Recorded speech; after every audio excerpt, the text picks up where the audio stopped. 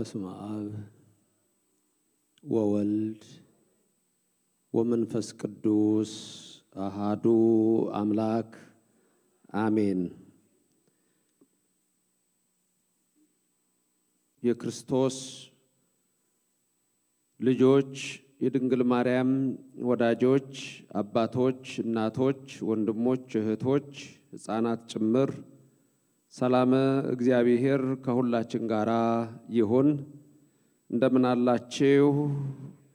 ሰማይን ያለ ምሰሶ የዘረጋው ምድርንም በውሃ ላይ ያለ ካስማ ያጸናው ደመናን ያለ ድምፅ የሚመራው አውሎ ነፋስን ሳይታይ የሚያስጉዘው ኃያሉ አምላካችን የሰራዊት ጌታ እግዚአብሔር ከዘለዓለም እስከ ዘለዓለም ለስም አጠራሩ ክብር ምስጋና ይግባው።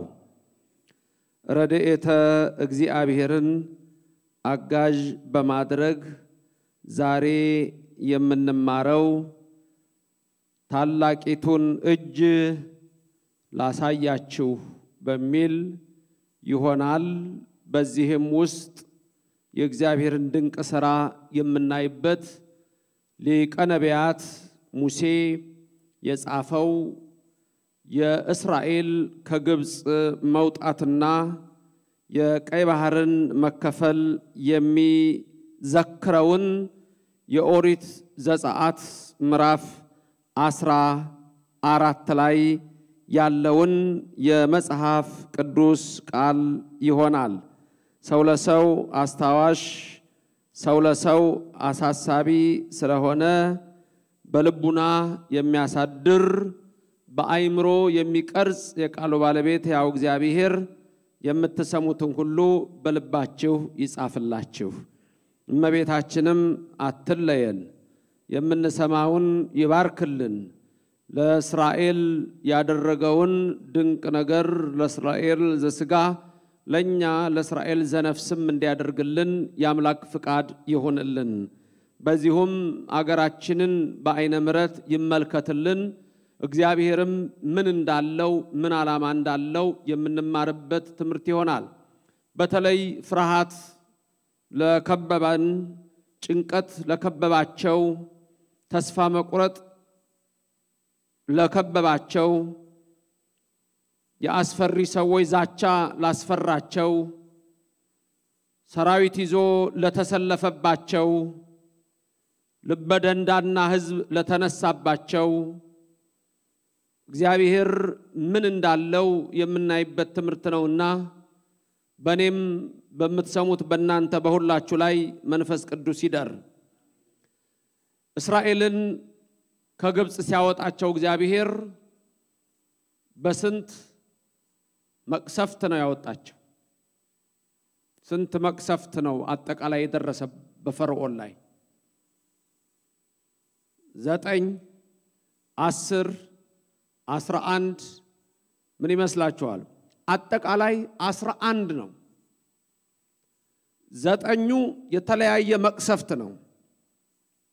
አሁንም አስረኛው ደግሞ ሞተ በኩር ነው። አንድ ቀን ጠዋት ሲነሱ በእያንዳንዱ ቤት ሬሳ አለ። በመጀመሪያ የሆነው የእስራኤልን ደም አፍሰዋልና እየቀዱ ሊጠጡት ያሉት ውሃ ሁሉ ደም ሆነ ይላል። ልክ ሊጠጡት ሲሉ የሚገማ ደም ሆነ ይላል። በእስራኤል ላይ ያደረሱት መከራ አንዳች አልቀረም። እግዚአብሔር ሁልጊዜ መልስ ያለው አምላክ ነው። በንስሐ ለሚመለሱ ሁልጊዜ እግዚአብሔር ደግ ነው። ለማይመለሱ ግን እግዚአብሔር እጁ ያደቃል። አንድ ቀን ሊበሉ ግብፃውያን ምግባቸውን ሲከፍቱት ትል በትል ነው የሰሩት ሁሉ ሰርተው ትኩስ ሰርተው ሊበሉት ሲሉ የሚርመሰመስ ትል ይሆን ነበረ። የጨለማው ጉዳይ የሚዳሰስ ነው። እንዲህ አይነት ዘጠኝ መቅሰፍቶች የቅማሉ ሰውነታቸውን የሚበላው ከራስ ጥፍር ከእግር ጥፍር እስከ ራስ ፀጉር አስጨናቂ ነበር። ወንዞች ሙሉ በሙሉ ወደ ደም ተለውጠው አስጨናቂ ነበር። ዘጠኝ መቅሰፍቶች ደርሰው አስረኛ ሞተ በኩር በእያንዳንዱ ቤት አስከሬን የእስራኤልን የሚወለዱትን ሁሉ እየጠመዘዙ እንዲገሉ አዋጅ ወጥቶ ነበርና እግዚአብሔር ያንን ሁሉ መልሶባቸዋል። ንስሐ ቢገቡ እግዚአብሔር አድሎ የለውም። ይሄ እስራኤል ነው፣ ይሄ ግብፃዊ ነው፣ ይሄ እንዲህ ነው አይልም። እግዚአብሔር ሁሉም የእሱ ፍጥረት ነው፣ ለማንም አያዳላም። ካዳላ እግዚአብሔር ልባቸው የቀናውን ብቻ ይመለከታል። በምሕረቱ ይመልከተን እንጂ ይሄ እስራኤል ነው፣ ይሄ ግብፃዊ ነው፣ ይሄ አሜሪካዊ ነው፣ ይሄ አውሮፓዊ ነው፣ ይሄ ኢትዮጵያዊ ነው፣ ይሄ እንዲህ ነው ብሎ እግዚአብሔር አያዳልም። የሚያምኑትን ግን የሚለምኑትን ግን እግዚአብሔር ሁሌ ሊያድን እጁ ታላቅ ናት። እችን ታላቅ እጅ ላሳያችሁ ያልኩት እግዚአብሔር ለእስራኤል የገለጣት እስራኤል ያዩት ናት። አስራ አንደኛውና የመጨረሻው መቅሰፍት አሁን የምናየው ዘጸአት 14 ላይ ያለው የቀይ ባህር መከፈል ነው። እግዚአብሔር የኢትዮጵያን ነፋስ አስነስቶ ወይም ነፋስ አዜብን አምጥቶ ቀይ ባህርን ከፍሎ በጠቅላላ እስራኤልን ያሻገረበት በጠቅላላ የፈርዖን ኃይል ያሰጠመበት ታሪክ በዘጸአት 14 ተጽፏል። እሱ እንመለከታለን። የነቢያት የሐዋርያት የሊቃውንትን ጉባኤ ባረከ፣ የእኛንም ይባርክልን። ስለዚህ በስንት መቅሰፍት ነው ድል አድርጎ እጁን አሳይቶ እግዚአብሔር ያወጣቸው? በ11 ዘጸአት 14 ላይ 11 ነጥብ እንድታዩ እፈልጋለሁ። ግብፅ በተቀጣችበት 11 መቅሰፍት 11 ነጥቦች ላሳያችሁ እሞክራለሁ። እነዚህም ለእኛ ትምህርት የሚሆኑ ናቸው። በተለይም በአሁን ሰዓት በተለያየ ፈተና በተለያየ መከራ ላሉት ወገኖቻችን ለሁላችንም በሐዘን በትካዜ በተስፋ መቁረጥና በቀቢጸ ተስፋ በተባለ ጭንቀት ውስጥ ዛሬ ከነገ ምን ይመጣብኛል በሚል ለአሮጊቶች በማይራሩ ለሕፃናት በማያዝኑ በተነሱ ክፉ ትውልዶች መካከል እግዚአብሔር ምን ስራ እንደሚያሳየን ዘጸአት 14 መነጽር ነው። እግዚአብሔር ሁሉን ይግለጥልን። 11 ነጥቦች።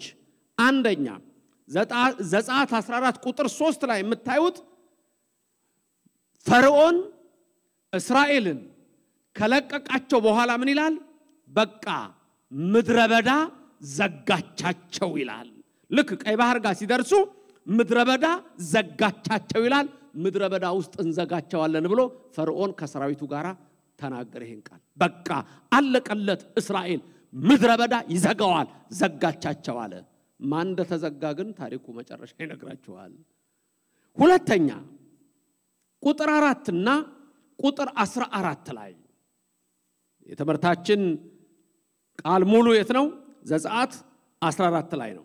ቁጥር አራትና 14 ላይ እግዚአብሔር እንዲህ ይላል፣ ግብፃውያን እኔ አምላክ እንደሆንሁ ያውቃሉ ይላል። የማያምኑ ሰዎች ራሱ የእግዚአብሔርን አምላክነት የሚያዩበት ድንቅ ተአምሩን የሚመለከቱበት ነገር እንዳለ ይነግረናል። ሶስተኛ ቁጥር ስምንት ቁጥር ስምንት ላይ እስራኤል ከፍ ባለች እጅ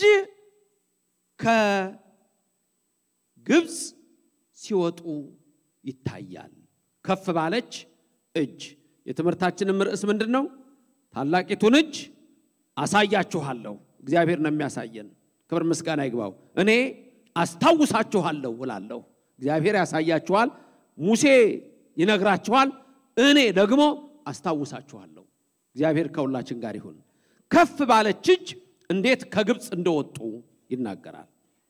አራተኛ ቁጥር 11 ከፍ ባለች እጅ የወጡት እስራኤል ከኋላ ፈርዖን ሲመጣባቸው አይተው ፈሩ። ዓይናቸውን አነሱና የፈርዖን ሰራዊት አዩ፣ ፈሩ፣ ወደ እግዚአብሔር ጮሁ ይላል። አምስተኛ ቁጥር 11 ይህን ጊዜ እስራኤል ምን አሉ? ፈርተው እንደገና ወደ እግዚአብሔር ጮኸው የቀደመውን ኑሯቸውን አስበው በግብፅ መቃብር ጠፍቶ ነው የወጣ ነው ብለው ግብፅን ናፈቁ። ስድስተኛ ቁጥር 13 እና 14 ሙሴ ሕዝቡን አጽናና ምን አላቸው? የእግዚአብሔርን ማዳን እዩ፣ ዝም በሉ፣ እግዚአብሔር ስለ እናንተ ይዋጋል አላቸው። ሰባተኛ ቁጥር 21 ላይ በነፋሰ አዜብ በነፋሰ ኢትዮጵያ ቀይ ባህርን ከፈለው። ስምንተኛ ቁጥር 24 እግዚአብሔር በእሳትና በደመና ምሰሶ ላይ ሆኖ አየ። በእሳትና በደመና አምድ። ዘጠነኛ ቁጥር 28 ቀይ ባህር የተከፈለው እንደገና ተመለሰ፣ ግብፅንም ከደነ ሰራዊቱና ፈርዖንን ሲል ነው።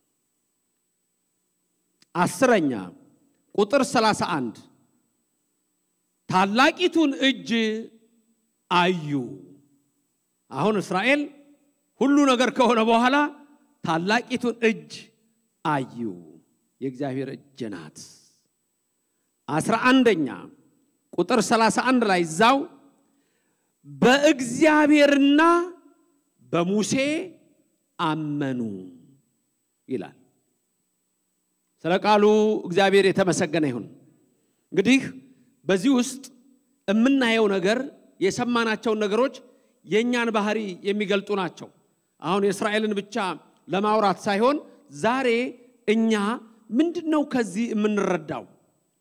በተለይ ትንሽ ነገር ኮሽ ሲል የምንደነግጥ የሆነ ነገር ሲሆን የምንፈራ ልክ ነው፣ ያስፈራል፣ ያስደነግጣል።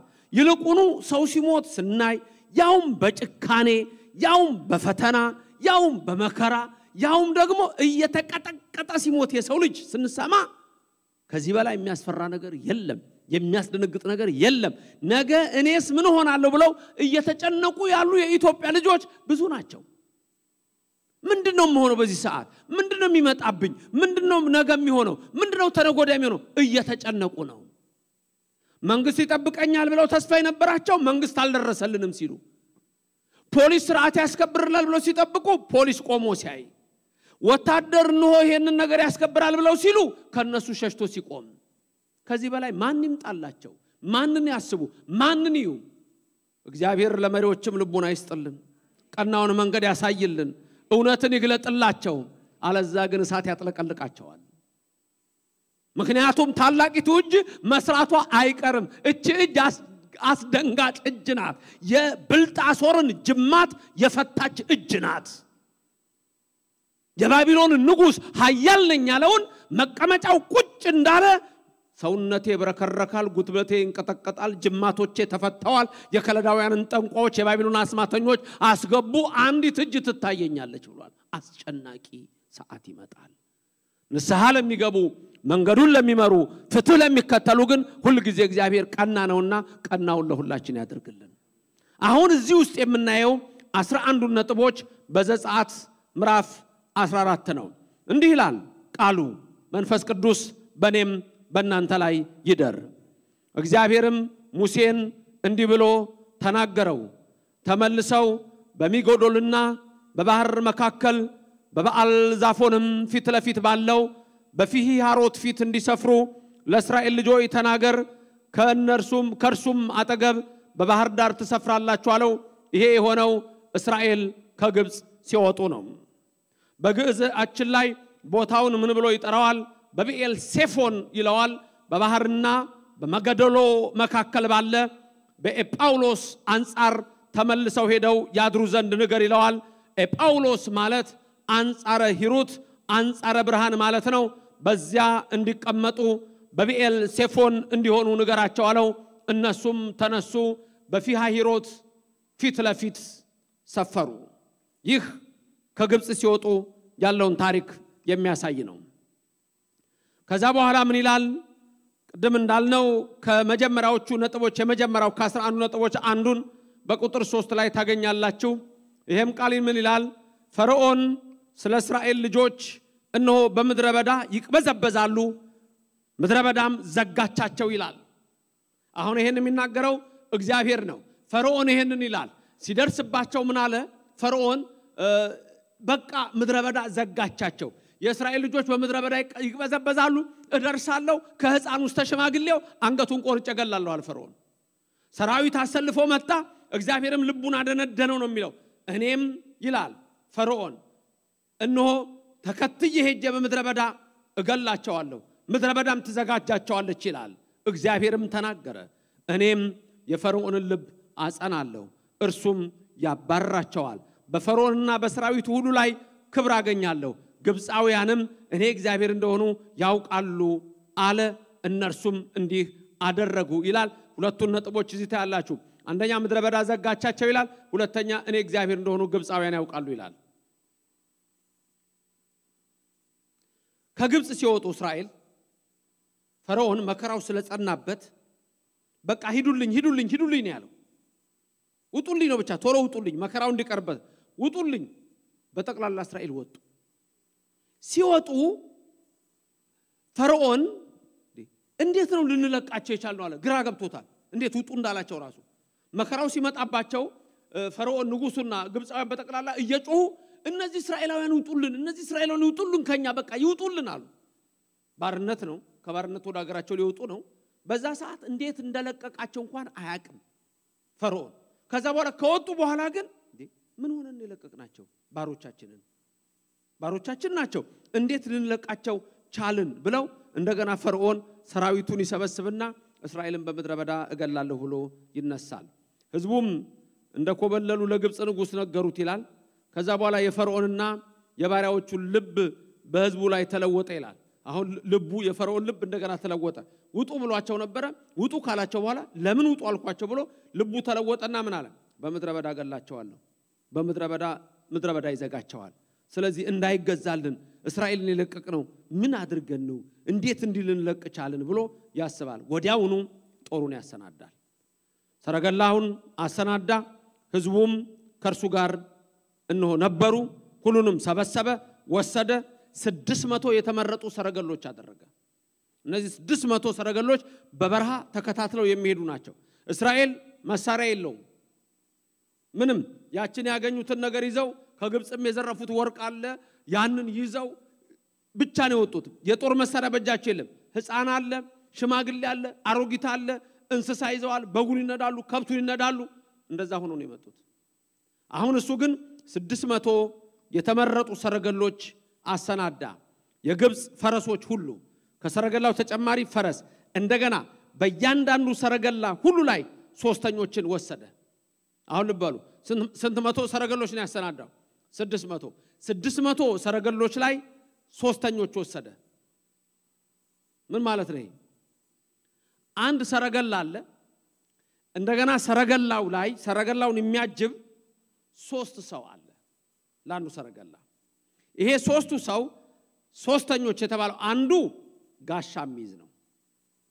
ጋሻ ይዛል፣ ሰይፍ ይይዛል። ሶስተኛ የተባለው ሶስት ነገር ነው የሚታጠቀው። ሶስተኛ የተባለው ሶስት ጋሻ ይታጠቃል፣ ጦር ይዛል፣ ሰይፍ ይይዛል። ሶስተኛ የተባለው እሱ ነው። በአንድ ሰረገላ ላይ ያን ያህል አለ። ስንት ሰረገሎች ናቸው ያሉት? ስድስት መቶ ከፈረስ ውጭ ነው። ፈረሰኛውማ አይቆጠርም። ስድስት መቶ ሰረገሎች ላይ ሶስት ሶስት ደግሞ አሉ። ይሄን ዝም ብለን ብናሰላው ለስድስት መቶ ሰረገላ ሶስት ሶስት ሰው ብላችሁ ስትመድቡት ምን ያህል እንደሚሆን ቁጥሩን ልታገኙ ትችላላችሁ። አንድ ሺህ ስምንት መቶ አንድ ሺህ ስምንት መቶ ስድስት መቶ ነው። ሶስት ሶስት ሰው ነው ያለው። ሶስት በስድስት አስራ ስምንት ነው።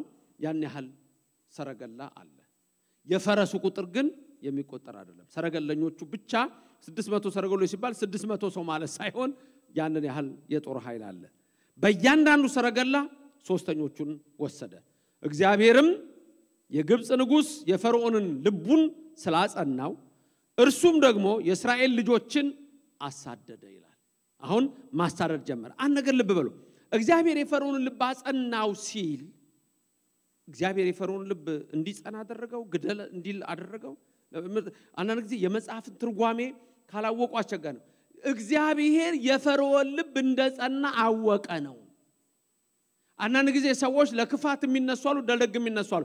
አሁን ፈርዖን አስጨናቂ ሆኖ ተነሳ። በቃ ለእስራኤል በቃ በምድረ በዳ ገላቸዋለሁ ሁሌ እዛ እንዳሉ ሲያስጨንቃቸው ወንድ ሲወልዱ ሾሞ ወዲያውኑ የተወለዱ ወንዶች ከሆኑ ወዲያው እንዲገደሉ ለምን ነገ አድጎ ችግር ይፈጥርብናል፣ ጦረኛ ይሆናል። ስለዚህ ሴቶቹ ብቻ ቢወለዱ ችግር የለውም በሚል ግን ሁሉንም ይገሏቸው ነበር።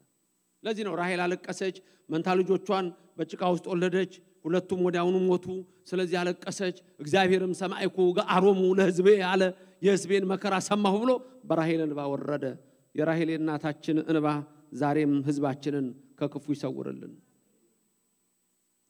ሰረገላውን አሰናዳ፣ ፈረሰኞች የተሰናዱ ቀስት ወይም ጦር፣ ሰይፍ፣ ጎራዴ የሚታጠቁትን አደረገ። ከዛ በኋላ ልቡ ስለጸና እግዚአብሔር እንደሚነግረን የእስራኤልን ልጆች አሳደዳቸው። የእስራኤልም ልጆች ከፍ ባለች እጅ ወጡ ይላል። አሁን እዚህ ጋር ፈርዖን እያሳደዳቸው ነው። ግን ከዛ ከባርነት ውስጥ ነጥቆ ያወጣቸው የማ እጅ ነው? ከፍ ያለ እጅ ነው። ስሙ የተመሰገነ ይሁን። ከፍ ያለ እጅ። ለትምህርታችን ርዕስ ያደረግነው ምንድን ነው? ታላቂቱን እጅ አሳያችኋለሁ። ታላቂቱን እጅ አዩ ነው። በቃ ታላቂቱን እጅ እስራኤላውያን አዩ ነው። አሁን እዚህ ጋር አላዩም። እግዚአብሔር እንዳወጣቸው ራሱ ገና አልገባቸውም። ለምን ካለው ከሙሴ ንግግር ጋር እናያቸዋለን። ምክንያቱም እዚህ ጋር እግዚአብሔር አወጣቸው። ከዛ በኋላ ፈርዖን ልቡ ጸና። እግዚአብሔርም እነሆ ከፍ ባለች እጅ አወጣቸው። እስራኤላውያን ወጡ።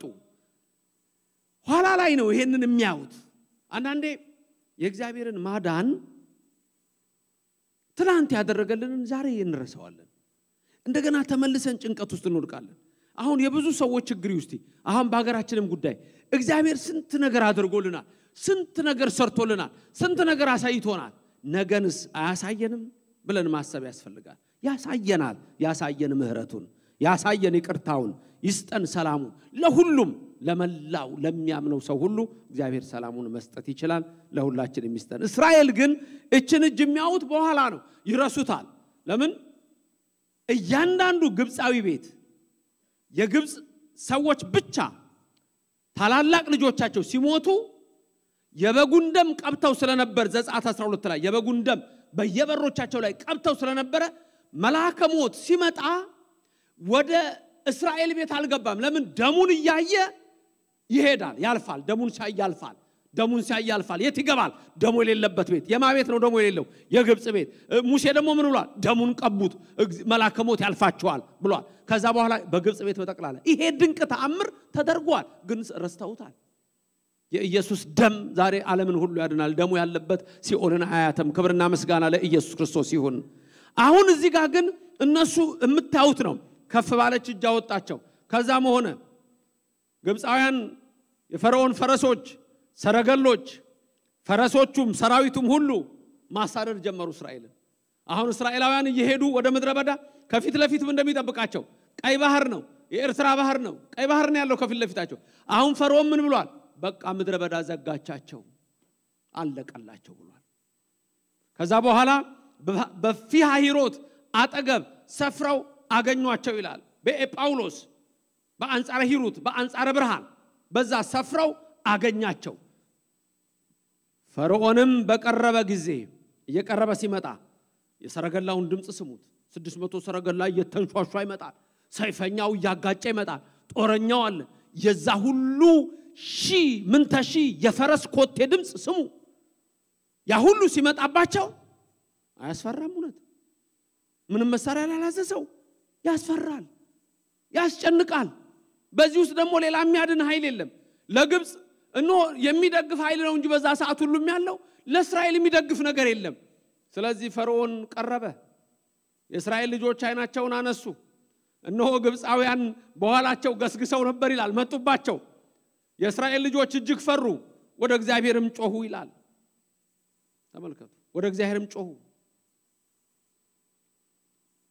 ፈሩ፣ ወደ እግዚአብሔር ጮሁ። አሁን ልብ በሉ፣ ፈርተዋል፣ ወደ እግዚአብሔር ጮኸዋል። አፋቸው ግን አሁንም ልባቸው ግን አሁንም ከእግዚአብሔር ጋር አልተገናኘም። በአፋቸው ጮኸዋል፣ ተመልከቱ። በአፋቸው ጮኸዋል፣ በልባቸው ምን ሆነዋል? ምን ሆኑ? በልባቸው አልሰማችሁትም? አሁን በዛ እኮ መረዳት ትችላላችሁ። ፍርሃት የት እንዳለ ልትነግሩኝ ትችላላችሁ። ፈርዖን ቀረበ፣ የእስራኤል ልጆች አይናቸውን አነሱ ነው የሚለው የእግዚአብሔር ቃል። እነሆ ግብፃውያን ከኋላቸው ምን ብለዋል? ገስግሰው ደርሰውባቸዋል። እነሱ ስንት ቀን የተጓዙትን ወደ አሁኑ ደረሱ። እንዴ ምን ሆነን የለቀቅ ነው አለ። በለያዘው ምድረ በዳ ውስጥ ከሕፃን እስከ አንገቱን ቆርጠ ትገላል። ባሮቻችን ለምን ናቸው? የእስራኤል ልጆች እጅግ ፈሩ፣ አይናቸውን አነሱ፣ ሰራዊቱን አዩ፣ እጅግ ፈሩ፣ ወደ እግዚአብሔር ጮሁ። ልባቸው ምን ብሏል? ፈርቷል። አፋቸው ምን እየሆነ ነው? እየጮኸ ነው። አፋቸው ወደማ ወደ እግዚአብሔር ወደ እግዚአብሔር መጮኋቸውን ታያላችሁ። መፍራታቸውን ታያላችሁ። አሁን መፍራት ምንድን ነው? ከመጣባቸው መከራ ነው። ቀጥሎ ግን ስታዩት ወደ እግዚአብሔር የጮሁት ጩኸት ዝም ብሎ ጩኸት ነው። ተመልከቱ። ልብና አፍ መገናኘት አለበት። አሁን ዛሬ ምህላ እንታዘዛለን፣ ጾም ይታዘዛል፣ እግዚአብሔር እንለምናለን። ያ ከልብ ጋር ይገናኝ ዘንድ እግዚአብሔር ይፈልጋል። ልብ በሉ። እንደዛም ቢሆን እንጩህ እንጂ ደግሞ ልንገራችሁ፣ እንጩህ እንጂ መጮኻችንን ማቋረጥ የለብንም። እንጩህ እንጂ ምንም ኃጢአተኞችና በደለኞች ሆነን ፈሪዎች ብንሆን እግዚአብሔር እንደገና ያችን ታላቂቱን እጅ ያሳየናል። ክብርና ምስጋና ለእግዚአብሔር ይድረሰው። መቼም አይተወንም። በፍርሃት ውስጥም በጭንቀትም ውስጥ ሆነ ብንጠራው ንጹሐን ቅዱሳን ባኖን እንኳን ስሙን ከጠራ ከተማጸን ነው ስለ ስሙ ብሎ እግዚአብሔር ድንቅ ነገር ይሰራል። ግብርና ምስጋና ይግባው። ስምየሰ መሐሪ ወመስተሳህል ይላል እግዚአብሔር። ስሜ መሐሪ ወመስተሳህል ይቅርባይና ቸር ነው ስሜ ራሱ ይላል። ስሙ ራሱ ድንቅ ያደርጋል። እግዚአብሔር የሚለው ስም ኃያል ነው።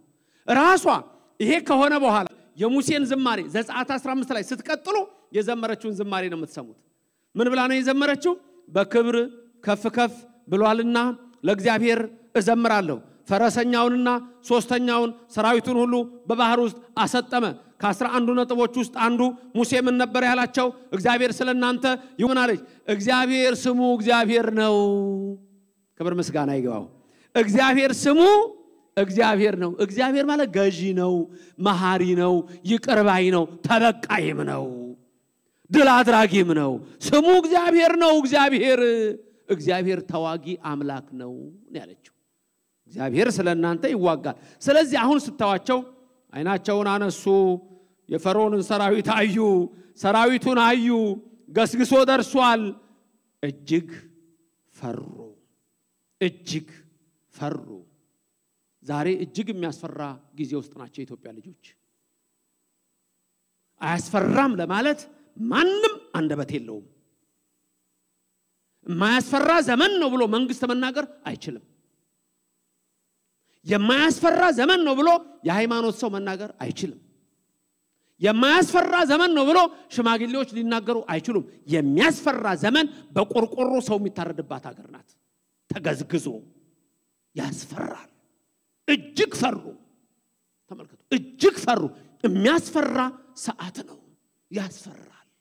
ግን በፍርሃት ውስጥ አሁን የሚነግረን ሙሴ የሚጽፍልን ይሄንን ሙሴ የሚነግረን ይሄንን ያችን ታላቂቱን እጅ እንድናይ ነው። ታላቂቱ እጅ ደግሞ የአውሮፓ እጅ አይደለችም፣ የአሜሪካ እጅ አይደለችም፣ የኢትዮጵያ መሪዎችም እጅ አይደለችም፣ የወታደርም እጅ አይደለችም፣ የሀያላንም እጅ አይደለችም፣ ጎበዝ የተባለ ሰውም እጅ አይደለችም። ያች እጅ የእግዚአብሔር እጅ ናት። ክብርና ምስጋና ለእግዚአብሔር ይድረሰው። ታላቂቱ እጅ ፈሩ፣ እጅግ ፈሩ። እጅግ ግን ታላቅ የሆነች እጅ አለች። ጨለማ ውስጥ ብንሆን፣ መከራ ውስጥ ብንሆን፣ እጅግ በሚያስፈራው ሰዓት ውስጥ ሁሉ ብንሆን ግን እግዚአብሔር ምን ይላል? የሚነግረን ነገር አለ። ሙሴ የነገረን እግዚአብሔር ስለ እናንተ ይዋጋል። ህዝቡ ጮኸው እግዚአብሔር ጋር ወደ እግዚአብሔር ጮኸው፣ ግን ልባቸው ፍርሃቱ የፈጠረባቸው ከእግዚአብሔር እንዲሸሹ አድርጓቸው። አንዳንዴ ስንፈራ እግዚአብሔር ደግሞ በአይን ስለማይታይ ምን ይሆናል? ያስጨንቃል። ከዛ በኋላ ጭራሽ ምን አሉ ሙሴን? ምንድን ነው ሙሴ? ምን ነው ምን ነው እያሉ ጮሁበት። ምን ነው ሙሴ? እዛ በምንቸቱ አጠገብ ሽንኩርቱ አጠገብ ተቀምጠን በነበርንበት በረሃ ይሻለን ብለው መና ሲወርድ እንኳን እንዳሙት እንደገና ደግሞ ዛሬ አሁን ምድረ በዳ ውስጥ ልንሞት ነው። ግብፅ መቃብር አጣናለህ ሙሴ ሙሴ ግብፅ ውስጥ መቃብር አልነበረም ለእኛ። የሞት የሞት እዛው አንሞትም። ምን ልናደረግ ምድረ በዳ አምጥተህ በዚህ አውጥተህ ልታስገድለን። ይኸው ፈረሰኛው መጣ። ከግብፅ ታወጣን ዘንድ ያደረክብን ሙሴ ምንድን ነው አሉት። አሁን ሙሴን ምን አሉት? ከዱት ከዱት ሙሴ። እንዲህ ልታደረገን ነው ያወጣህን? እዛዋ ብንሞት አይሻለንም እንደ ቀድሞ ብለው የግብፅን እንደገና መናፈቅ ጀመሩ። አያችሁ አንዳንዴ መከራ ሲበዛ ሌላ ቀለል ያለ መከራ እየመሰለው ሰው ሌላውን ያደንቃል። ሙሴ አዘነ። ጮሁበት። ሙሴ በምድረ በዳ ከምንሞት ባሪያ ሆነን ብንገዛላቸው ይሻላል። ተወን።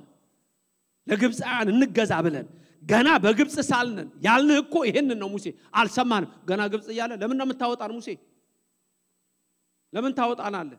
ይሄ መከራ ከሚመጣብን ስቃይ ከሚመጣብን እዛው ግብፅ እንገዛላቸው። አንውጣ ያሉ ሰዎች ነበሩ። ባርነት የወደዱ። ልጆቻቸው እኮ ሲወለዱ ወንድ እየተገደለ ነው። አንዳንዴ እኮ ሰዎች አይሰሙም እኮ። ልክ እኔን ካልነካኝ እያለ የገዛ ልጁ እየታነቀ ሲሞት እንኳን ያልተነቃነቀ ግብፅ ነበረ እስራኤል ነበረ እግዚአብሔርን አምናለሁ የሚል ራሱ እስራኤላውያን በግብፅ ውስጥ ሆነው እንዲህ ነበረ። ተወን እኮ ያልንህ ለዚህ ነበር። መቃብራተን ነው ያመጣህን።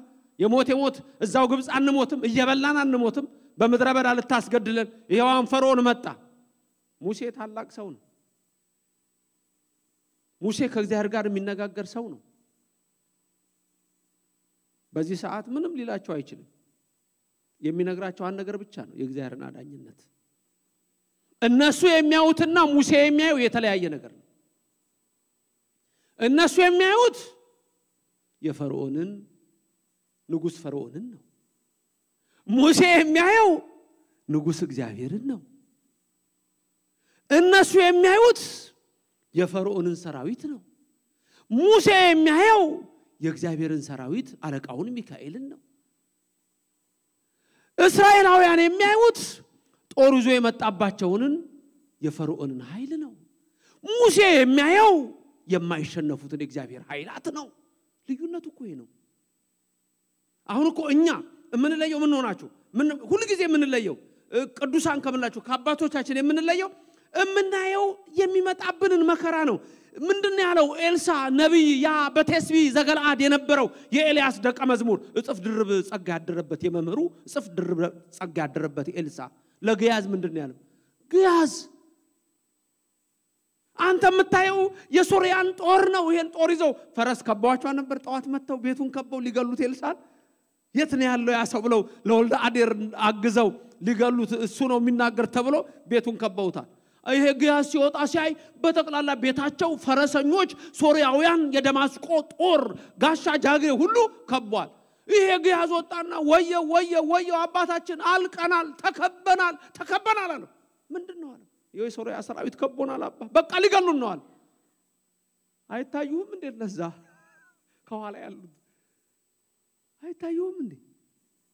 የቶቹ አባ እነማ? እግዚአብሔር ሆይ የዚህም ብላቴና አይን ክፈት አለ።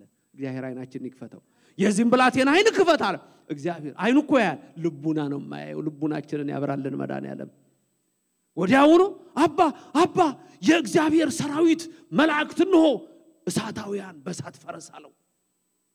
እንዲህ እንዲታየን ይርዳን እግዚአብሔር። ሙሴ የሚያየው እግዚአብሔርን ነው። ሙሴ የሚያየው መላእክትን ነው። እስራኤል ደግሞ የሚያዩት የግብፅን ጦር። ችግራችን ነው የምናየው። ከችግራችን በላይ እግዚአብሔር አለ። ስሙ የተመሰገነ ይሁን። ከፈተናችን በላይ እግዚአብሔር። አንዳንድ ሰዎች አሁን ህመማቸውን ደዌያቸውን ስቃያቸውን ያሉ። ከዛ በላይ እውር የሚያበራው ለምጻም የሚያነጻው ጎባጣ የሚያቀናው ሽባ የሚተረትረው ሙት የሚያነሳው ኢየሱስ መድኃኒትን ልናየው ይገባል። ክብርና ምስጋና ይግባው። እስራኤላውያን ሐዋርያትን እዩዋቸው ሐዋርያት ውሃው ላይ እኖ መከራ እየመጣባቸው ማዕበሉ ነፋሱ ክርስቶስ እኮ ውሃው ላይ ቆሟል።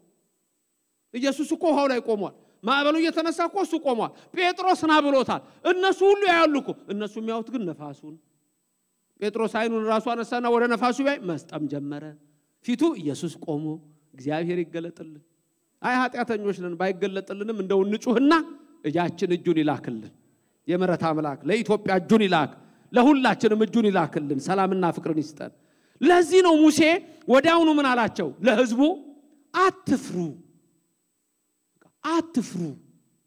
እጅግ ፈሯል ለሚለው አትፍሩ።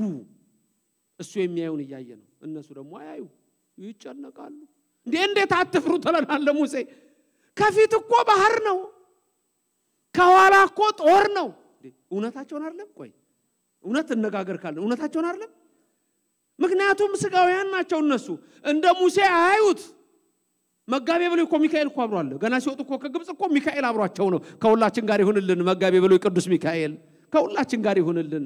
የኢትዮጵያን ልጆች የኤርትራን ልጆች ይጠብቅልን መልአኩ ሚካኤል። አላዩም እነሱ። ለምን አይፈሩ? ከፊት ባህር፣ ከኋላ ጦር። እንደገና ደግሞ የፈርዖን ቃል ትዝ አይላችሁ? ፈርዖን ሲያስጨንቃቸው በምድረ በዳ እዘጋቸዋለሁ፣ ራሷ ምድረ በዳ ትዘጋቸዋለች። ይሄ ደግሞ ያስፈራ።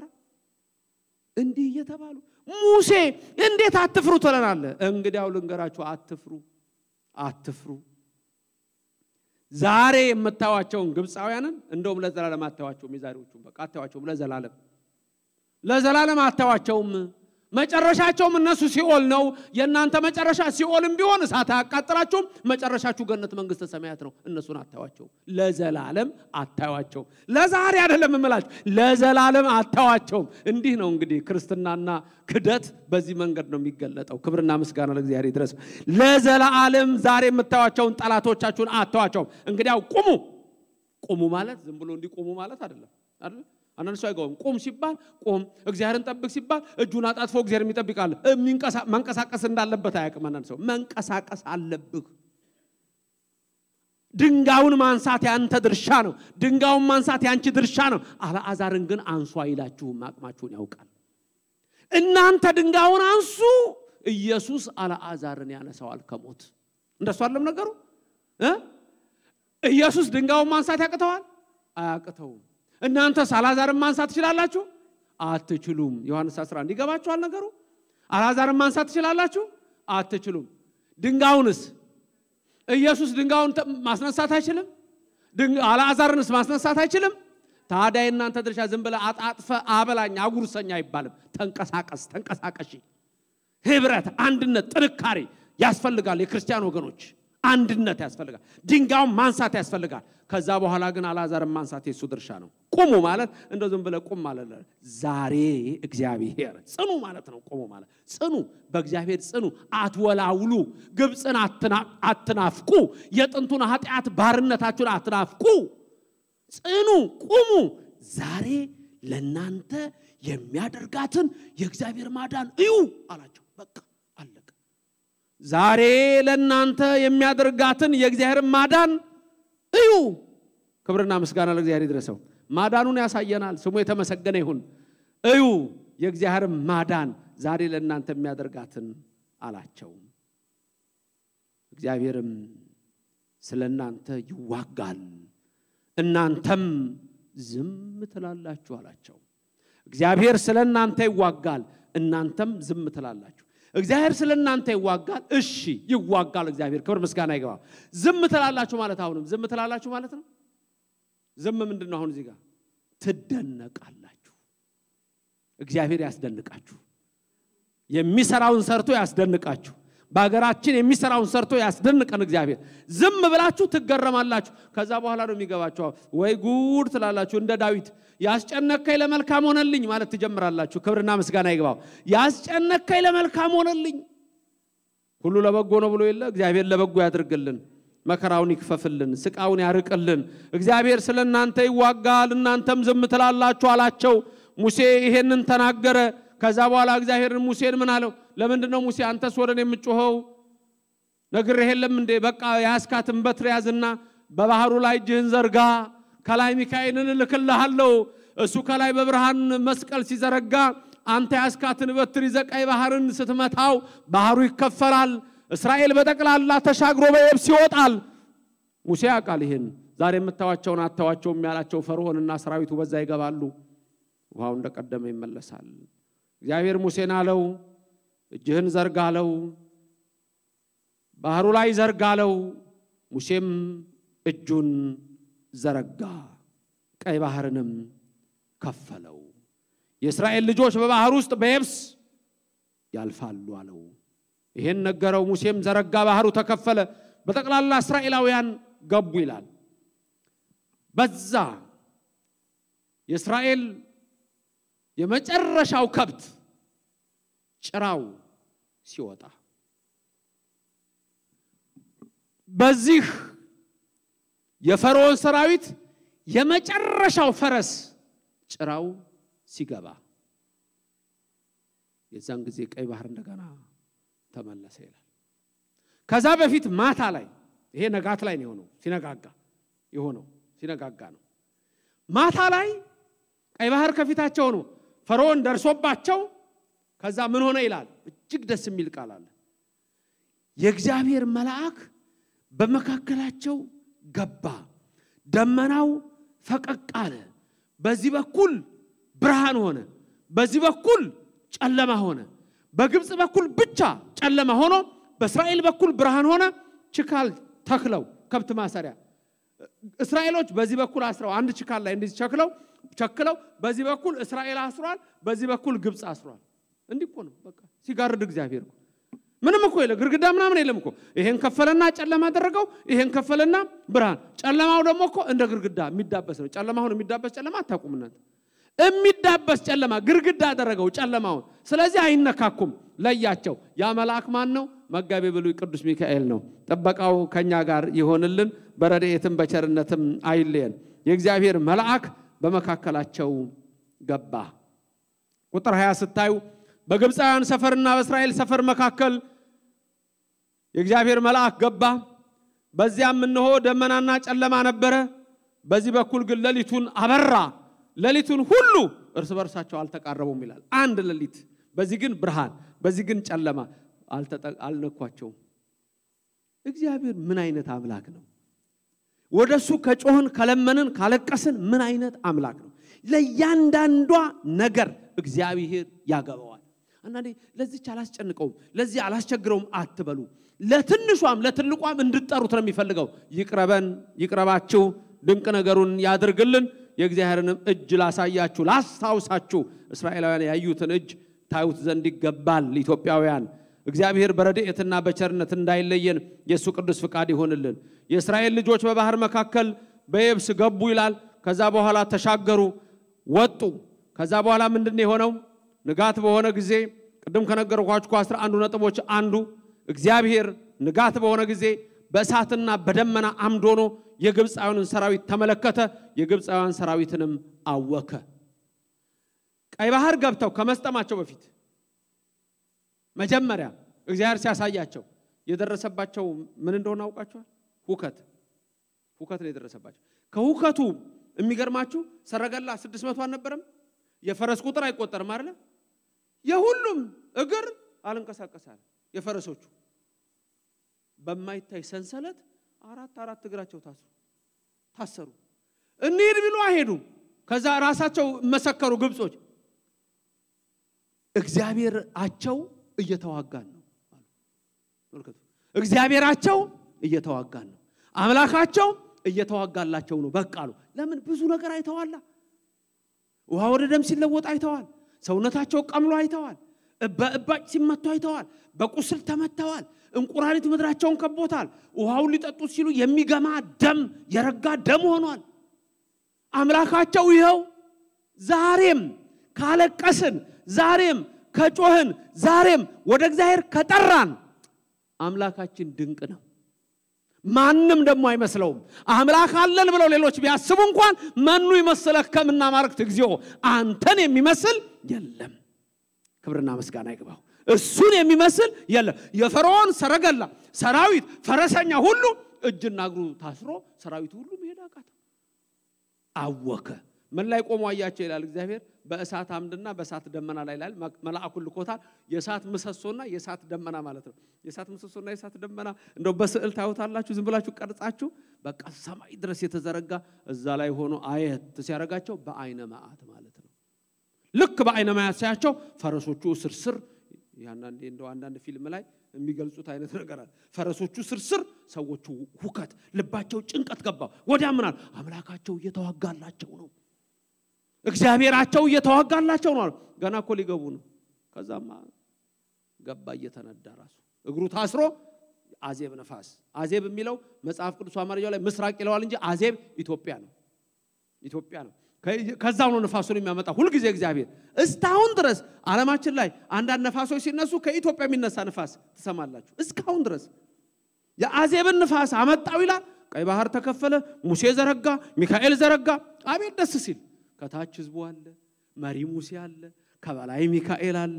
የሁሉ በላይ ደግሞ ማን አለ? ክብር ምስጋና ይግባው እግዚአብሔር አለ። በሳት አምድ በሳት ደመና ሆኖ ተመለከተ። የፈርዖን ሰራዊት ሁሉ ታወከ። ሁሉም ገቡ፣ አለቀ። እንዳይሆን ሆኑ፣ ሰጠሙ። እግዚአብሔር በሙሴ ምን ብሏል? ትደነቃላችሁ ብሎ ነበረ። መንኮራኩሩ ታሰረ። እየታሰረ እየተወረወረ ገባ፣ እየተወረወረ ገባ። ሰራዊቱ ሁሉ ገባ። አንድም አንድ የበግ ግልገል አልተረፈም ከግብፅ ወገን፣ አንድ ፈረስ አልተረፈም። እስራኤል ግን ወጣ። ሙሴ እጁን እንደገና ዘረጋው ይላል። ባህሩ ማለዳ ማለዳ ንጋት ላይ ሌሊት የተከፈለው ውሃ ወደ መፍሰሱ ተመለሰ። ክፍል ክፍል ክፍል ክፍል አድርጎ ነው የከፈለው በሶስት በአራት ክፍል። እስራኤል በደረቅ ነው የወጡት። ከዛ እንደገና እንደ ግርግዳ ቆሞ የነበረው ውሃ ክልብስ እንደ ግርግዳ ወደ ላይ ነበር የቆመው ተከፍሎ እንደገና ክልብስ አለ። አንድም ግብፅ አልተረፈም። ጠዋት ንጋት ላይ ፀሐይ ገና ግልጥልጥ ስታደርግ ውሃው እየወረወረ እስራኤልን አስክሬን ይተፋል። አንዳንድ ፈረሰኞችን እና ፈረሶችን እየተፋ ይወረውራል። ሰረገሎቹ እየታሰሩ ይወረወራሉ። እስራኤል ይሄን አየ። አይ የፈራ ነው ለካ የፈራ ነው። እግዚአብሔር እያለን የፈራ ነው። ደግሞ እኮ ግብፅ ይሻለናል ማለታችን ደግሞ ግብፅ ያ መከራ ተመልከቱ። እግዚአብሔር ማመስገን ጀመሩ። ያቺ ማርያም የነ ሙሴና ያሮን እህት ከበሮ ወስዳ መዝሙር ተጀመረ። አምላኬ ከፍ ከፍ በል ልበልህ፣ ክበር ተመስገን ልበልህ እያሉ ዝማሪያቸውን ዘመሩ። የእስራኤል ልጆች ግን በባህር ውስጥ በየብስ ሄዱ ይላል ቃሉ። ውሆችም በቀኛቸውና በግራቸው እንደ ግድግዳ ሆነላቸው። እግዚአብሔር በዚያ ቀን እስራኤልን እንደዚህ ከግብፃውያን እጅ አዳነ። እንደዚህ አዳነ። እንዲህ ያድነን እግዚአብሔር ሁላችንም። እንደዚህ አዳነ። እስራኤልም የግብፃውያን ሬሳ በባህር ዳር አዩ። የመጨረሻው ቃል ምን ይላል? እስራኤል እግዚአብሔር በግብፃውያን ላይ ያደረጋትን ታላቂቱን እጅ አዩ። አሁን ማንን አዩ? ታላቂቱን እጅ አዩ። ሕዝቡም እግዚአብሔርን ፈሩ፣ በእግዚአብሔርና በባሪያው በሙሴ አመኑ ይላል ቃሉ። አሁን ታላቂቱን እጅ አዩ። እችን እጅ ነው ላሳያችሁ ያልኩት እኔ ላስታውሳችሁ ስል ነው። አንርሳ፣ የእግዚአብሔርን እጅ አንርሳ፣ ቀኙን አንርሳ፣ ክንዱንም አንርሳ። ተመልከቱ፣ እግዚአብሔር ድንቅ የሚያደርግ መሆኑን አንርሳ። ሁልጊዜ እነ ቅዱስ ዳዊት ፈኑ እዴከ እማርያም ያሉት ይሄን ነው። እጅህን ላክ። ተመልከቱ፣ የእግዚአብሔርን እጅ ታላቂቱን እጅ አዩ። ከፍ ያለችውን እጅ አዩ። ከሁሉ በላይ የሆነችውን ድንቅ የምታደርገውን እጅ አዩ። ታምሩን አዩ ማለት ነው። ስራውን አዩ ማለት ውይ ይሄ እጅ ስራ ይባላል። ልዩ ነው መቼም ይሄ እጅ ስራ አይደል? ወንበር የሰራም ጠረጴዛ የሰራ እንደውም በሀገራችን ትምህርት አልነበረም የእጅ ስራ የሚባል ትምህርት ገና አንደኛ ደረጃ ሆነን እኮ የእጅ ስራ የሚባል ትምህርት አለ። እሷ የእጅ ስራ ትችላለች፣ ባለሙያ የሆኑ አቤት የእግዚአብሔር የእጅ ስራማ ድንቅ ነው። የእግዚአብሔር የእጁ ስራ ግሩም ነው። የእጁ ስራ ዳዊት እኮ ራሱ ምንድን ነው ያለው ስለ እጁ ስራ? ግሩም ሆኜ ተፈጥሬአለሁ አመሰግናለሁ አለ። የእግዚአብሔር እጅ ስራ እኮ ነው። አዳምን ከምድር አፈር አበጀኸው ማለት እኮ የእግዚአብሔር የእጁ ስራ እኮ ነን ሁላችንም። ያ የእጁ ስራ ደግሞ እንደገና ድንቁን ያደርጋል። ክብርና ምስጋና ለእግዚአብሔር ይድረሰው። ያችን እጅ አዩ ይላል። የእግዚአብሔር እጅ ናት፣ የማዳኑ እጅ ናት። ስሙ ለዘላለም የተመሰገነ ይሁን። ከዛ በኋላስ ፈርተው የነበሩ እግዚአብሔርን ማያድንም መስሏቸው ፈርተው የነበሩ የሙሴንም አማላጅነቱን ንቀው አቃለው አይ ሙሴ ግብፅ ይሻለን ነበር፣ እዛው እኛ መቃብር አተን ነው አውጣን ያለህ እያሉ ሲጮሁበት የነበሩ ምን ይላል የመጨረሻ ቃል? በእግዚአብሔርና በባሪያው በሙሴ አመኑ ይላል። ተመልከቱ። አሁን ቃሉ ምን ይላል? በእግዚአብሔርና በባሪያው በሙሴ አመኑ። አሁን ቃሉ አመኑ አመኑ ነው። ለእግዚአብሔርም ሰገድኩ ነው የምንለው እኛ፣ ለሚካኤልም ሰገድኩ ነው የምንለው። ለአምላካችን ሰገድን ለኢየሱስ ክርስቶስ ነው የምንለው፣ ለእመቤታችንም ሰገድን ነው የምንለው። የስግደቱ አይነት ግን ለእግዚአብሔር አምላኬ ብለን ለእመቤታችን ጸጋለሽ ክብር ይገባሻል ብለን ለእግዚአብሔር ፈጣሪያችን ብለን ለሚካኤል ጠባቂያችን አማላጃችን ብለን አሁን እዚህ እዩት ቃሉን በእግዚአብሔርና በሙሴ በባሪያው አመኑ ማለት ሙሴ አምላክ ነው አሉ። አንዳንድ መናፍቃን አሉ ዛሬ ድረስ ኦርቶዶክስ እንድትጠላ ያደረጉ ኦርቶዶክስ የነከሌ እምነት ነች እያሉ ህዝቡን ሰብከው ሰብከው ይሄን ሁሉ መዓት ያመጡብን ሰዎች በቅዱሳን ምልጃ የማያምኑ ካዲዎች መናፍቃን አሉ። እነሱ ናቸው ይህን ጣጣ በሀገራችን ያመጡ። የምድር የበረከት ምድር ነበረች ሀገራችን፣ የጸጋ ምድር ነበረች። በረከት በዓል አክብሮ በረከት ነበረው። እግዚአብሔር ጸጋ ነበረ በዛ ምድር ላይ። ይሄ ሁሉ የጠፋው በእግዚአብሔርና በሙሴ በባሪያው አናምን ብለን እግዚአብሔርን ክደን ባለሟሎቹን ንቀን፣ ይሄ ነው ምድራችንን ያረከሳት። የማርክሲስት ሌኒኒስት ፍልስፍና እግዚአብሔር የለም የሚል ተራ ነገር ይዘን ምድሪቱን አረከስናት። ምንፍቅናው አረከሳት፣ ፖለቲካው አረከሳት። እንዲህ ነው የረከሰችው ምድሪቱ። እነዚህ ግን ይዋቸው መጨረሻ ላይ ብለው ብለው እግዚአብሔር ምሕረቱን የሰጣቸው በእግዚአብሔርና በባሪያው በሙሴ አመኑ። ዘጸአት 14 31 በእግዚአብሔርና በባሪያው በሙሴ አመኑ። እግዚአብሔር ፈጣሪ ሙሴ አማላጄ ብለው አመኑ። እግዚአብሔር እሱ የፈጠረኝ ኃያል አምላክ ብለው ሙሴ እግዚአብሔር የላከው አገልጋዩ አማላጅ ብለው አመኑ። ስለዚህ እግዚአብሔር ያችን እጅ ታላቂቱን እጅ አሳያቸው።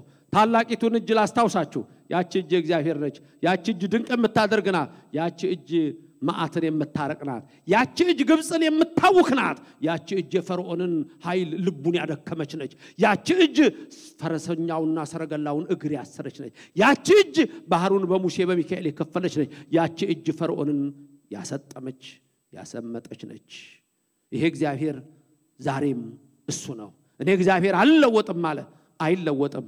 የድንግል ማርያም ልጅ ኢየሱስ ክርስቶስ ታላቁን እጁን ይላክልን ኢትዮጵያን አጎራባች ሀገሮቿን ዓለምን ሰላም ያድርግልን። ይልቁንም በዚህ ሰዓት የተጨነቁትን የኢትዮጵያ ልጆች ታላቁን እጅ ያሳይልን።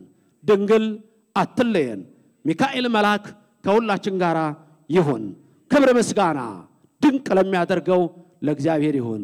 ታላቂቱ እጅ ላሳያችሁ እጅ ነች፣ የእግዚአብሔር እጅ ነች። አሜን። ክብርና ምስጋና ለእግዚአብሔር ይድረሰው። ስሙ የተመሰገነ ይሁን። በረድኤትም አይለየን። አሜን።